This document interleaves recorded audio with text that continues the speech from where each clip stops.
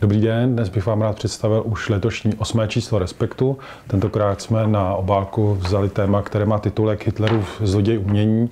Je to téma, které vlastně je odpíchnuto od dvou momentů. Jeden je, který se nedávno objevil i v českých médiích, to bylo to téměř zázračné objevení obrazů na 1400 obrazů, které se považovaly za ztracené, nebo dokonce některé, že vůbec nevědělo, že existují, protože od druhé světové války vlastně o nich nebyla jediná zpráva. Bralo se, že buď to byly zničeny nebo rozkradeny a jsou někde ukryté po světě. A tyto obrazy se víceméně náhodou objevily.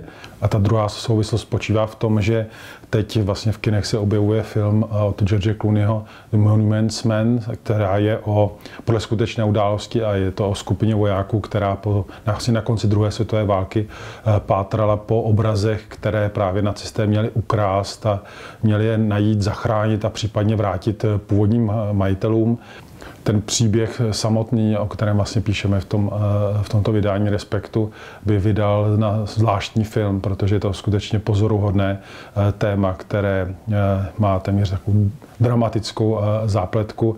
V tomto ohledu do jisté míry šťastným koncem, protože se ty obrazy našly, nicméně, což je i v tom článku, jak nám říkají právníci těch rodin původních majitelů, není vůbec snadné zpátky získat tyto obrazy.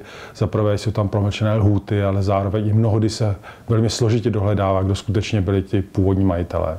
Dalším výrazným tématem tohoto čísla je domácí politika. Ty uplynulé dny byly poměrně bohaté na velké události. Slyšeli jsme, že byli obviněni vlastně dva významní aktéři. Jeden byl vlastně bývalý premiér eh, Petr Nečas a dále lobista Ivo Ritik. Eh, ty případy spolu částečně souvisí a částečně nesouvisí. Souvisí pouze eh, v té míře, že vlastně mají i jeden společný základ důkazu a to byl při sběru té už legendárního zátahu, který proběhl loni, loni v červnu. Nás zajímají vlastně dvě roviny. První je, nakolik je pravděpodobně pravděpodobné, že Ivo Ritiga nakonec dojde k soudu a jestli je šance, že bude odsouzen, to znamená, jak významné jsou ty důkazy, které se eh, podařilo se sbírat. Zároveň se to znamená, že skutečně jsme na Prahu eh, nějakého, řekněme, většího šlapání na paty eh, českým kmotrům. To je jedna rovina. A ta druhá je samozřejmě u premiéra, teda ex-premiéra Petra Nečase, eh, jestli zaprvé vůbec má být stíhán, jestli má být eh, šetřen za v úvozovkách politický akt či nikoli a, a jaké jsou na to názory. Ten, ta kauza je v mnoha ohledech průlomová, protože něco podobného jsme tu nezažili a dá se předpokládat, že v tomto rozsahu a významu ani nezažijeme.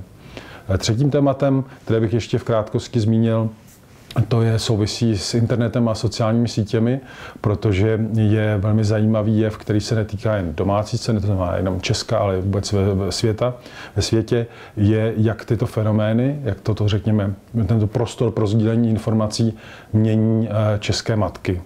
Ono z logiky věci ženy na mateřské mohou mnohem snáze dnes komunikovat s lidmi přes právě prostřednictvím sociálních sítí a je zajímavé, jak sociologové říkají, že tím pádem i potažmo se samozřejmě to mateřství a ženy mění a nás zajímalo, v jakém rozsahu to je a co všechno vlastně to provází.